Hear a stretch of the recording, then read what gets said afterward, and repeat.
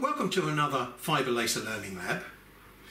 As you can probably see, we're not in the workshop today. Um, I'm in my wife's laboratory. Well, let's put it this way. She's on holiday at the moment and she doesn't know anything about this. I've got one of her prized possessions here, which is her gin glass, and I've filled it full of cooking oil. Now we'll come on to this in a minute, but today's session is all about light. This is the stuff that we're firing at our materials.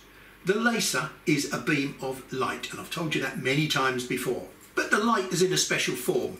First of all, all the light particles are travelling together, which makes it a coherent beam. They're all of the same colour, which makes it monochromatic. Those are the two definitions of a laser beam, a beam of energy, which when it hits a surface can interact with that surface in one of several ways. One of the first ways is it can be reflected, in which case that material is great for making mirrors. In the second instance, the light can actually pass right through the material, and such materials are great for making lenses. And then there's everything else. Now, everything else will absorb energy to a greater or lesser extent. I'm using the word absorb. That's really the wrong way to describe the way that light interacts with the material. When the light hits the material, it has energy, just like a stone falling out the sky. It's completely harmless, it has energy, but you have no idea that it has energy until it hits you on the head, and then you can feel the energy that that stone had there's an energy conversion from kinetic energy into something that has damaged your head. The same applies to light. Only when it hits a surface does it become converted into something else. And the converting into something else is basically heat. I've got some very crude models of atoms. Now these, these little plastic pieces that I've got between those um, atoms, and these are different atoms, and they, they will each have a different length and a different strength of bond between the relative atoms and they will stay certain distances apart. So this is not untypical of a molecule but as you can see it's quite a floppy molecule. Okay, it wobbles. It wobbles nicely at that frequency. Now if I take this molecule which is typical of water 1H and two O's, H2O. Yeah, it, it, it is a little bit wobbly, but it's not as wobbly as this one at that frequency. This one, who knows what that is. That's very, very stiff. It's got very short, stiff connections between the atoms. That one is going to be very difficult to make it vibrate. Here we've got some others. Look, they're, they're bonded in such a way that they'd be virtually impossible at that frequency to move. Here we've got yet another one. This is an invention of mine, I think, but you know, who knows? Um, maybe Ribena looks like that. Now, this is the electromagnetic spectrum, which is covering anything from what we see in the middle here. This is the colour range that our eyes can see because our eyes are sensitive to this particular vibration, this particular wavelength of light. And the light hitting our eyeball stimulates the molecules in the back of our eye in different ways, different frequencies, so that we can see all these different colours. Now, this picture here gives us an impression of the different wavelengths of light. As we're up here at the radio end of the spectrum, we've got very long wavelengths. We can sit by our radio, we don't get any physical damage, apart maybe for ears if we have it too loud. Um, then we get to our microwave. Well, I don't think I'd want to put my hand in a microwave. Um, here we've got infrared, which is basically heat. And then we've got ultraviolet, which is sunburn. Then we've got X-rays, which are dangerous if you put too many of those into your body. And then we've got gamma rays, which are pretty dangerous if you want to um, go out into space and uh, get fried. And these are all types of light. And the way that I've described them, I'm describing the way that the light affects us, our skin, our molecules in our body. Now, not everything is going to work the same way as our body. I mean, if I fire gamma rays at water, I don't know what happens. But it certainly won't be the same, it won't cause the same amount of damage to water as it will do to us. When you've got a molecule which is made up of different atoms and they're all joined together like this with various types of bonding, this molecule has a certain what we call resonant frequency. I have spoken before about the definition of temperature. Everything you see when you look around you might look solid. First of all, it's like this, and it's mainly nothing. And secondly, it's not, as you can see, stable, sitting here doing nothing. Even the, even the molecules in this paper are busy doing this. They're vibrating. There is something in this universe called absolute zero, minus 273 degrees C. And at minus 273 degrees C, everything stops. All molecular motion ceases.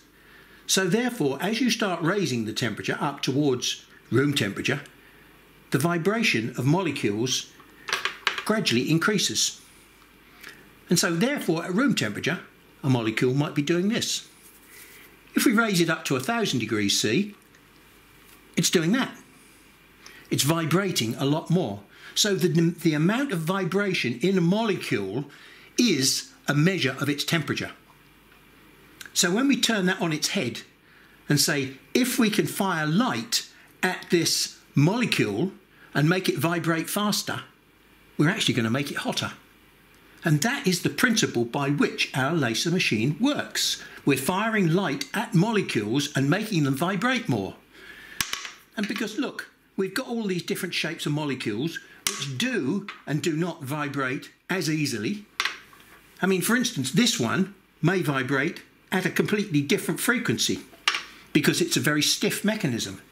This one vibrates mm, reasonably okay at moderate vibrations, and something like this vibrates a lot at very low frequency. You start making this go at high frequency, and it will vibrate, but it won't vibrate very much. Now, I hope I'm going to be able to give you a demonstration of uh, the way in which different frequencies of, and I'm going to have to use mechanical frequencies as opposed to light frequencies to convert this whole idea back into something that you can see. You can hear that low frequency and you can see the pattern that's developing on the surface of the material.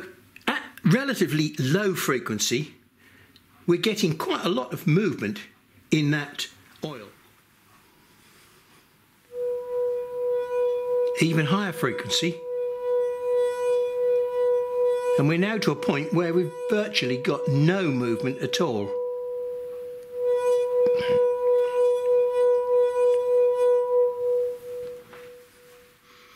Now I'm purposely not taking the glass down very low because in case you think that it's all to do with the, uh, the, the vibration off the side of the glass.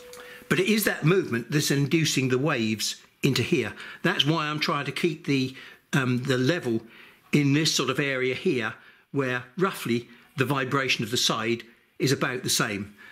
What I'm trying to show you is that the density of that fluid is such that it will only basically accept waves of a certain frequency. No, that's not gin in there, that's just ordinary water. So yes, I've washed the glass out and hopefully my wife will never notice the taste of the soap or the oil. And we're going to do the same thing again we've got a much less viscous fluid, which moves around a lot easier. I suppose technically it's a bit like this one. It moves around a lot easier. And this time I'm letting you look down on top of the glass because it's so much easier to see what's going on. Now I'm holding the stem so that I don't get vibrations up through the stem itself. But look, you can see how much more energy is being absorbed by the water this time. It's going into pretty serious vibration. Okay, so let's let's run it at high frequency. And you'll see that water still reacts quite violently even at high frequency. We've still got our wave around the outside and we've got lots of surface disturbance as well. Water has a very wide range of frequency absorption capability, whereas oil does not. And I'm using this very crude analogue to try and indicate to you that's why some materials absorb light and get stimulated by it. The molecules are stimulated by certain frequencies of light and they can therefore heat up. Either the light will pass through the structure relatively unimpeded because there is a great deal of nothing in most of the materials that you see around you, despite the fact them looking solid. The message that I'm trying to get over to you is that different frequencies of light will have different effects on different molecular structures. Certain frequency will stimulate this to a great deal of vibration. More vibration means more heat. More heat means that this material will reach a critical point where it will do something. If it was water and it got to 100 degrees C, it would turn into steam. If it's paper and it reaches 250 to 300 degrees C, it'll burst into flame. One of them is a change and the other one's a chemical reaction, but they're still based on the fact that you're reaching, you're stimulating the molecule up to a certain temperature. And once you've stimulated the molecule to a critical temperature, it cannot exist in that molecular form. It will change to something else, as we talked about in an earlier session. I'll put that back beside its cousin, the wine glass, and provided you don't split on me, she'll never know any different. Okay, now here we've got five different metals. We'll first of all use something that we're familiar with, which is stainless steel because we've been marking that just recently. And I will set that up to take a black mark.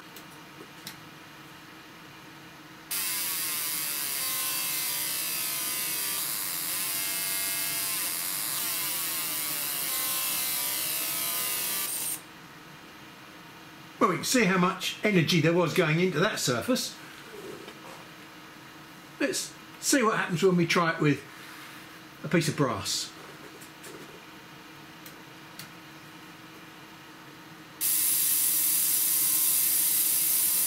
Still quite a lot of power going into the surface, you can hear it and see it.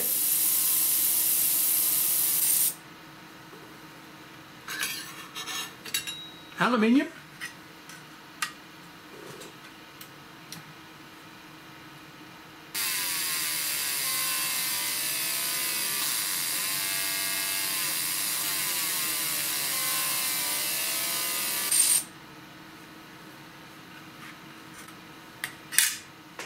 Copper.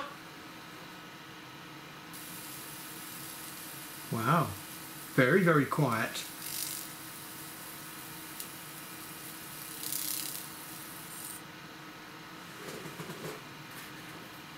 And finally, a piece of mild steel.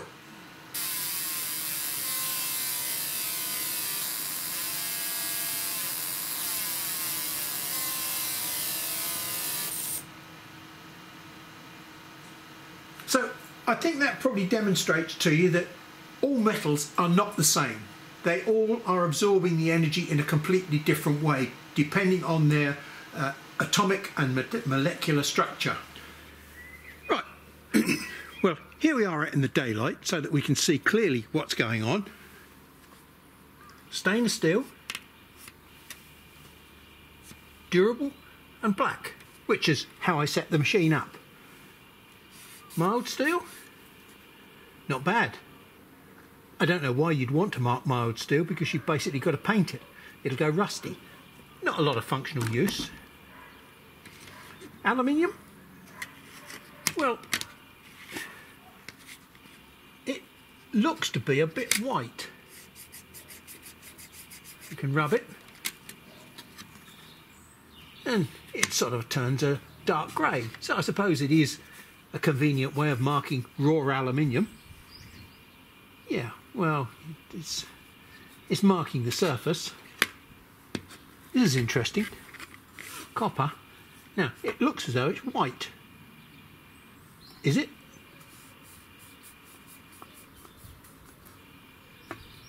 Oh yeah, it actually is white.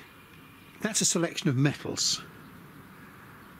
let's try one or two other things, should we? Okay, now I'm not going to change the settings. I'm going to leave the metal settings there, which you, know there's a lot of power there because it can, you know, it can burn its way into metal. So, MDF, from all accounts, wood products are not affected by one micron wavelength light. So, are we expecting this to be cut or not? Is it wood or is it not wood? There's wood in it, but there's a binder. And the binder is plastic. Do we think the plastic is going to burn and the wood not? Interesting question. Let's find out, shall we? Let's press the button and go.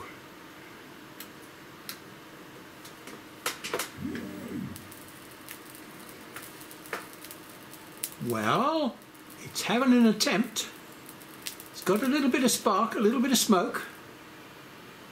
Not exactly doing a lot, is it? That's just as the science predicted.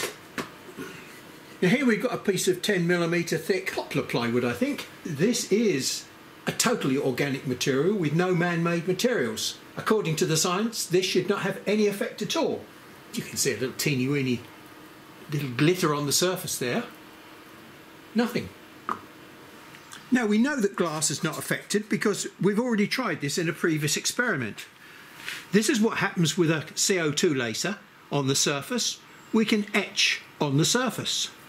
Here's what happened when we tried to etch through glass onto a piece of material underneath. It went straight through the glass, but the material underneath was aluminium. And because I was touching the aluminium at the time, this laid directly on the surface of the aluminium, look, we have actually created a mark on the back of the glass. It's a durable mark, it's not going to come off, which leaves us thinking about another possibility. Although glass transmits, looks like 100% of the wavelength of light, totally unaffected, the material underneath is not. So let's try this. So here's what we've just marked, using exactly the same settings as this. What I've done, I've put a piece of glass over the top of it this time. I'll do it in the middle so that the glass is sitting nice and flat on the material there.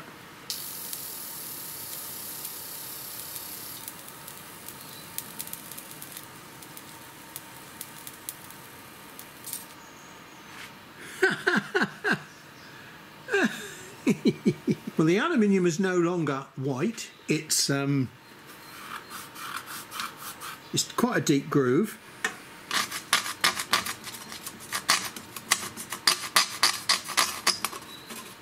It's difficult to say what that is. I don't know whether that's a metal transfer onto the back there. In other words, whether we vaporise the material and deposit it on the glass it certainly looks that way because now that I've scratched the back, look, I can scratch some of the material off. So I've definitely vaporised the material and put it onto the back of the glass.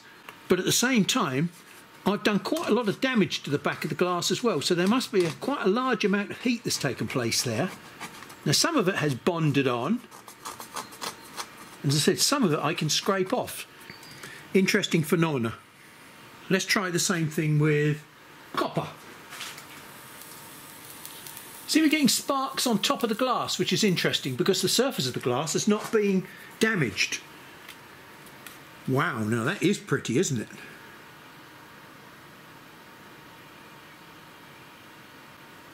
How durable is that, I wonder?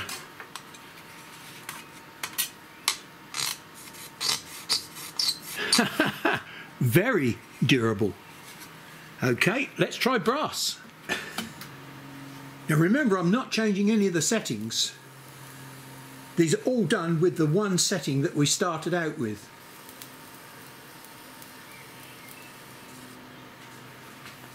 I can see that that is not going to be, whoops, I can see that that's not going to be as durable because as I catch it in the light, you, you can see you can see the places where it hasn't bonded properly.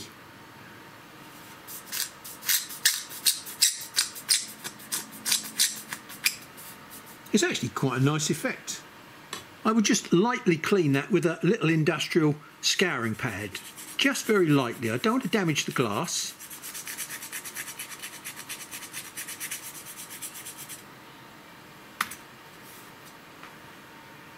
The brass has come up quite nice on this side. The copper is perfect. We'll now do stainless steel. I suspect this is going to make a bit of a mess because we had a, a large amount of uh, um, flaming splurge on this one if you remember. Oh, okay.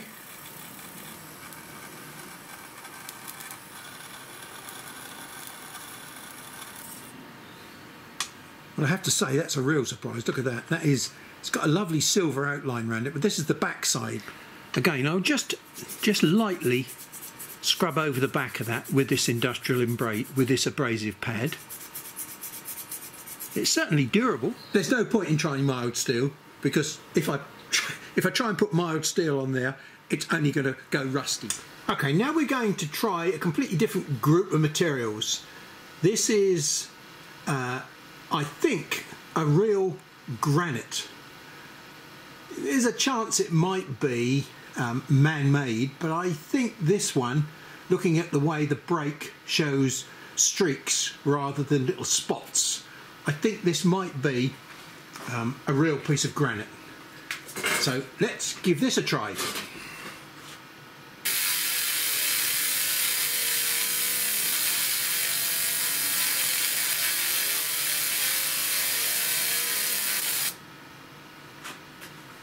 Well, that's done a pretty durable job of marking that. I have to say, that's not bad at all. Now, I know that this is a piece of man-made marble. It's, it's a quartz material which has been bound together with a binder of some sort, uh, probably a, an epoxy binder. So we'll give this a try and see what happens. Mm, completely different.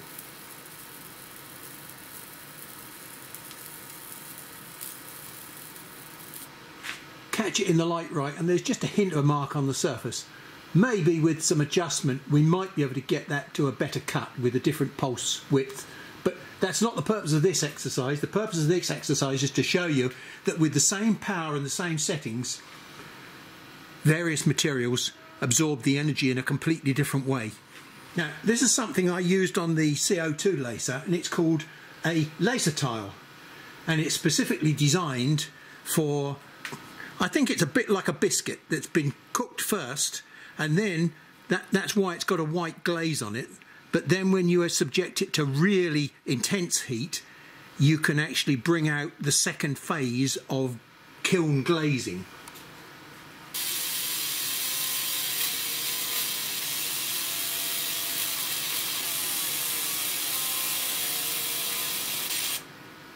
Well, that's not bad. It's taken the surface off it hasn't actually done what the CO2 laser does, which is to turn the background, which is to turn the glaze black. But that again could be just settings because I've got a lot of power going into this and I've actually taken the surface off of the glaze. And now for a piece of slate.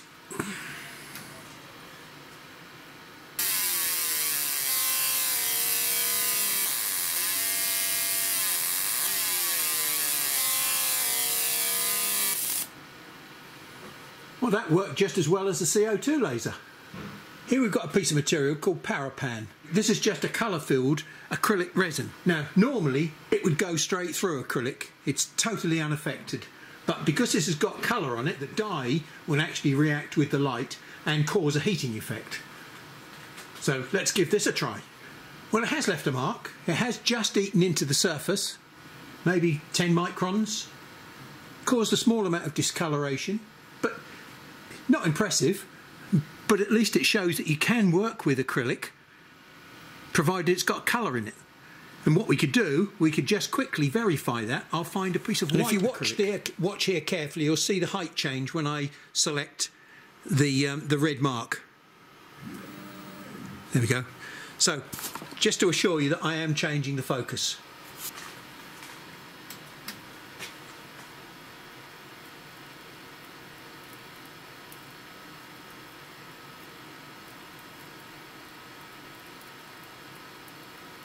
It is doing something. There we go. it's done absolutely nothing. I have to assume that this Parapan has got something more than a dye in it. It might have some filler in it as well. It doesn't feel heavy. what else have we got to try? Well, we've got this material here, which I'm told can be marked, but maybe not at these values. But we'll give it a try. This is polycarbonate.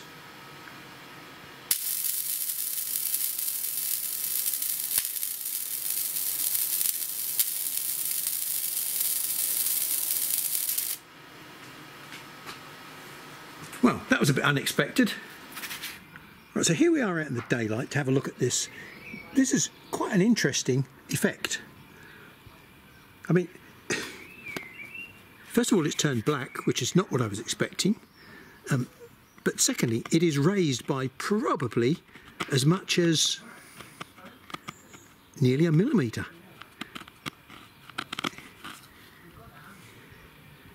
It's a very interesting effect. It's bubbled up the surface, I presume, and created extra volume. I can imagine that would be very useful. This is a polypropylene cap off the end of a tube. Um, it's just a piece of plastic that I happen to have. Now, I'm always cautious about messing around with plastic, especially soft plastics like this that will melt. Um, it's going, I'm fairly confident it's going to produce some fumes, but from previous experience, we should be able to watch here in the open because although this is open, it's quite a nice extractor system here and it's pulling the air in very nicely and we should see the fumes drawing back. I've also had to change the settings for this quite dramatically from those that we used for our first wow um, because it was basically just melting it and I don't want it to melt as such. So now we've gone to 2000 millimeters a second, 100% power. We're still using 2 nanosecond pulse width, but this time I think we're using 0.03, 30 micron spacing, line pitch.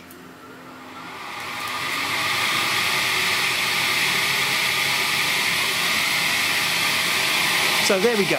Now if you've forgotten to mould that into your plastic cap or you want to put your own trademark on it or something, then yeah, you can mess around with polypropylene, but mm, it's not pretty, it's okay.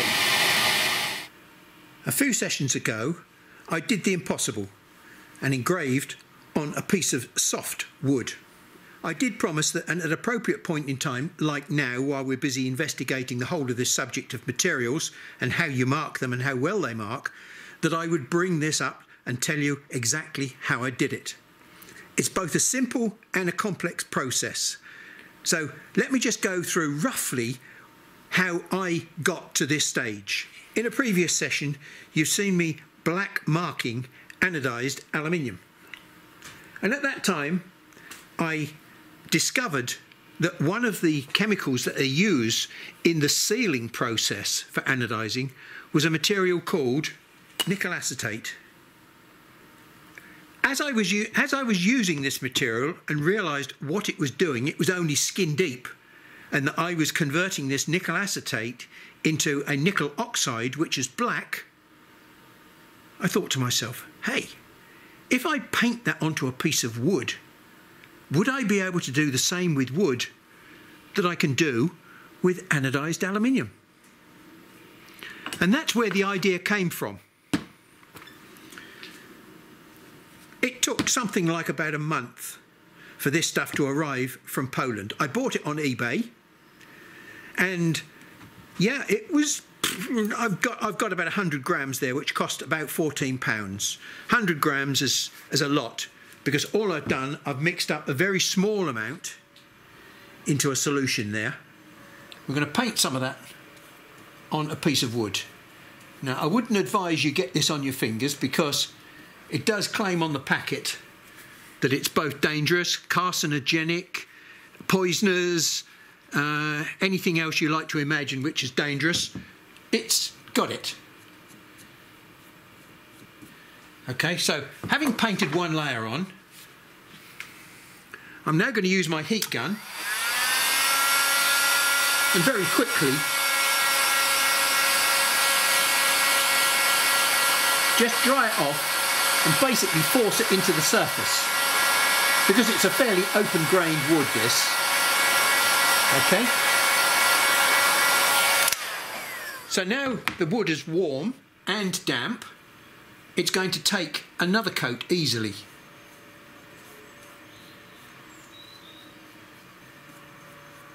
Just a thin coat. We do the same again.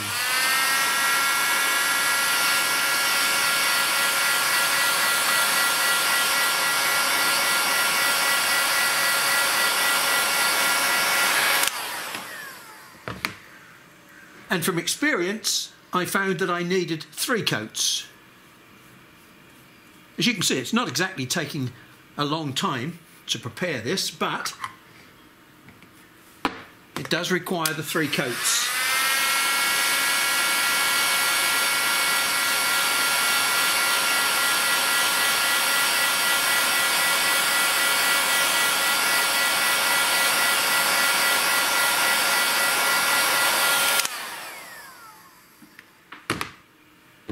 Okay, so I'm going to mark that one up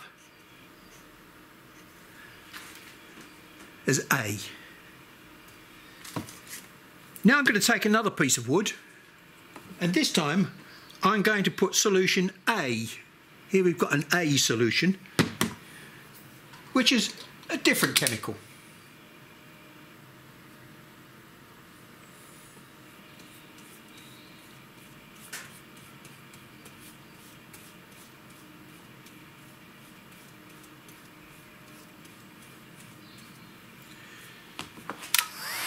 And we'll do exactly the same treatment on it. I'm going to remark that oops, as chemical B.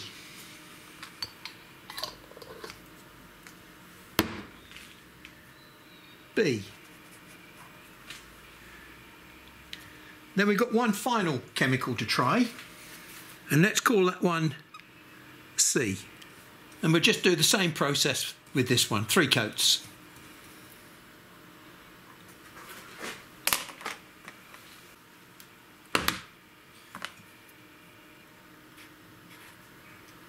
Now, while I was playing with my heat gun, I discovered something else. And that's this. If I heat this raw material up,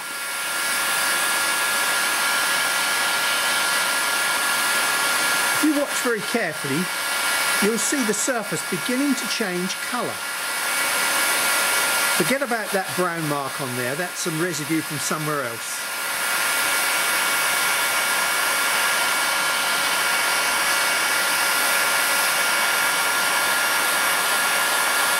It's just beginning to come in now. Look, I'm scorching the surface.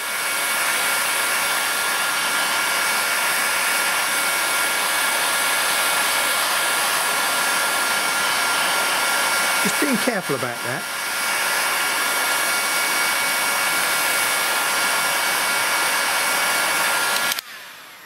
Okay, it's subtle.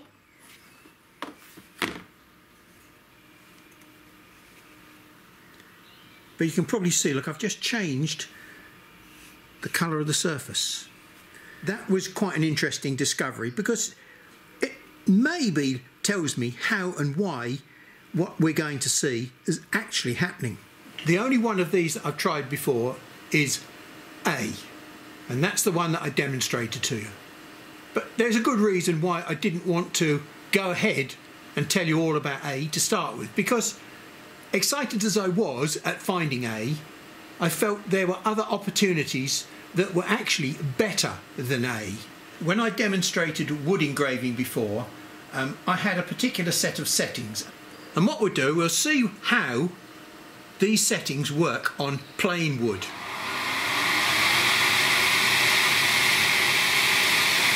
You can see that it is uh, singularly unsuccessful.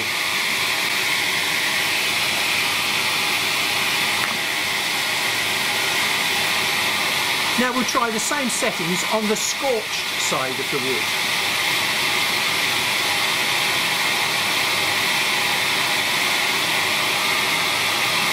Well, We've got a little bit of definition there. You can't see that probably, but I can just see a bit of definition there. But I think I can improve that.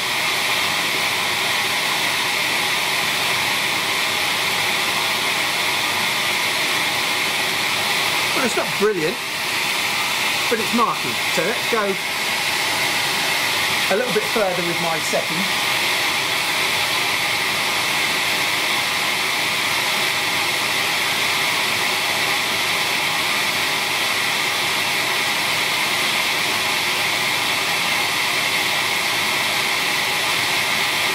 I've overdone it.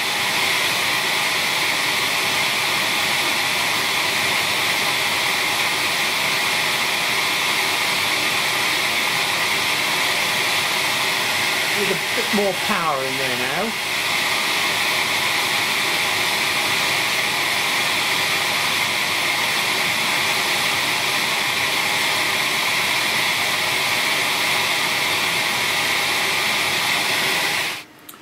Right, now I'm going to stop at that point because you can see that it's a little bit of a fiddly, delicate balancing exercise. Basically, what I've discovered here is that if you can remove the cellulose from the surface, and basically by heating the surface up, what I'd done was destroyed the, a lot of the cellulose in the surface and left quite a lot of the lignin in the wood coming up to the surface there, which is what the brown stuff is. Now, by having the lignin on the surface, the lignin actually absorbs some of the light energy. And as soon as you can start to absorb some of the light energy, you start going into a burn mode within the wood.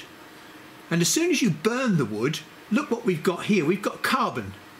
And as soon as you've got carbon, you have like massive absorption of the light energy. It's very difficult to get a balance between just breaking through and getting a burn. And then like this, we've got a lot of carbon here. If I'd have let that burn more, we could, I could probably burn right the way through this material. Once we get the burn going, it's great. We're going to try now the nickel acetate, which is the demonstration that I performed earlier. Hopefully, if this is a consistent process, it will work just as well as it did the first time. So, here we go.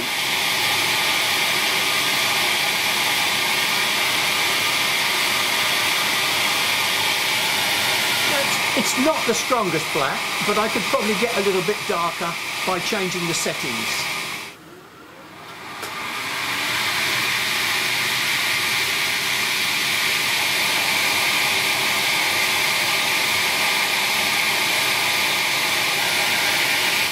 This is not as dark as these. This is carbon, right? And it's out of control. This is not carbon, this is a modification of the chemical that I painted into the surface and it only goes as deep as the chemical has penetrated into the surface. So when I change from 80 microns, 70 to 60 micron line spacing in my hatching, it doesn't change the colour. But my only problem with this is it's not a very nice chemical. It's dangerous, it's poisonous, and you couldn't really paint this onto something and sell it as a product unless you coated it afterwards with a varnish or something like that.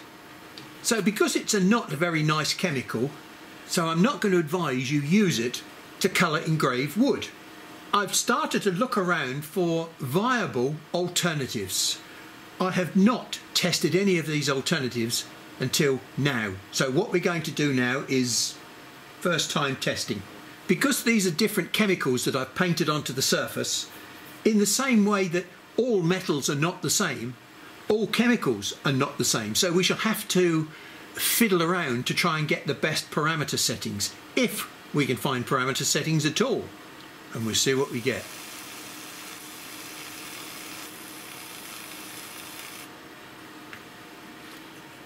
So side by side, that produces a darker result than this one. And they're both metal salts. This one is a sodium salt and this one is a nickel salt. Hmm. But this one's not dangerous because you put that in food. That's baking soda. This one, well, yeah, great idea, but I think we're going to have to push that down the list now. Okay, Let's try surface treatment C.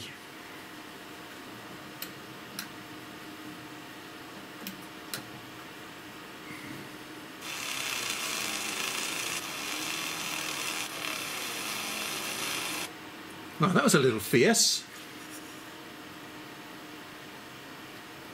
I think we could probably, we've produced lots of smoke there, I think we might be able to tune that one up a little bit. That's the way in which I have discovered we can engrave on wood. You need to treat the surface. Now there are many other things that we could try, like I could wax the surface, I could paint the surface with a spray. There are all sorts of other opportunities that you've got now that you've got the idea. But having seen all the things that I've tested, what we need to remember is that when I turn these over and we take a look at the successful results, a metal salt, a metal salt, a metal salt. Both of these are sodium and this one is nickel. Now, there may be other salts that you could use. These two we know to be very safe. And the better one of the two turns out to be the safest one of the lot. Now, having said safe, I would caution. I would still make sure you use your extraction because sodium chloride, the chlorine element of it, worries me a little bit. I'm not a chemist, um, as I've told you many times before. So this may well be producing some nasty chlorine fumes when it gets burnt. I shall have to do more investigation on that and that still leaves us with this one which is a carbon, a sodium carbonate. It's a bicarbonate but it's still sodium and carbon. This one may eventually be the safest one to use even though this one may be the best one to use in terms of colour density. So here are the parameters for each of these. I'm not going to show you the one for the nickel acetate because, as I said, I think that that is potentially a dangerous chemical.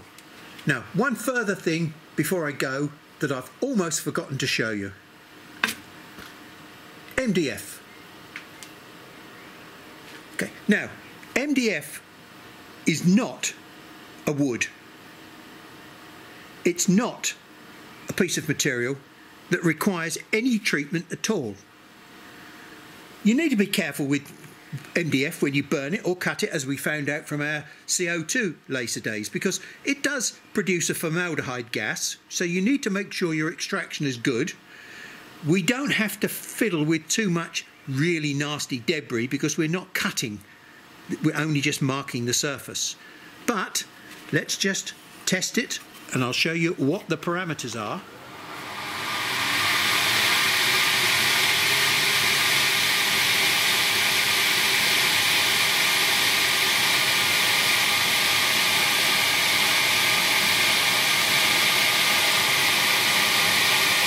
There we go. Now that is absolutely a superb mark and we don't need to do anything to the surface of that material at all. All you need is the right parameter settings.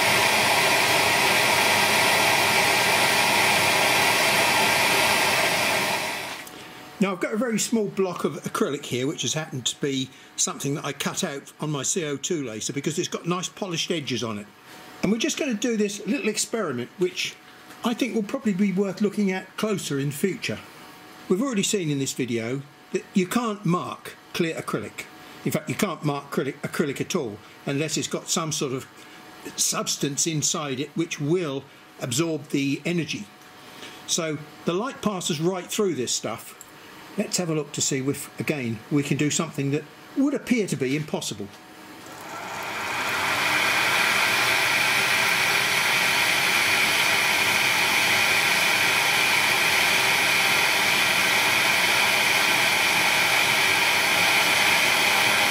Looking at my black background is not very interesting, is it? But um, this might be more interesting. Sure, it was me that said you can't do anything with acrylic, wasn't it?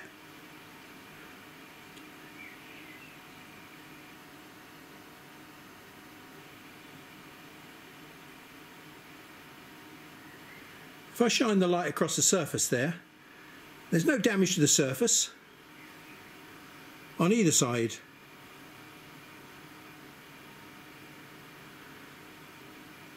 All the damages within. Pretty impressive, hey? now the main purpose of today was to show you some of the strange properties of one micron wavelength light.